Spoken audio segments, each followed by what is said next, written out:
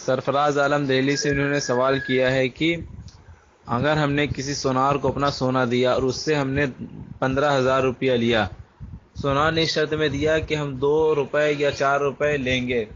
तीन महीने के बाद जब पै, हमने पैसा लौटाया पंद्रह हज़ार रुपया और जो पैसा उस सुनार ने हम पर लाजिम किए तो उसको लौटाया और अपना सोना लिया तो हज़रत वो पैसा जो सुनार ने लाजिम किया था वो क्या होगा? सूद है या ब्याज? जवाब इनायत फरमा दे। सूद और ब्याज एक ही चीज़ ना होती है, सूद है या ब्याज, ये कौन सा सवाल है?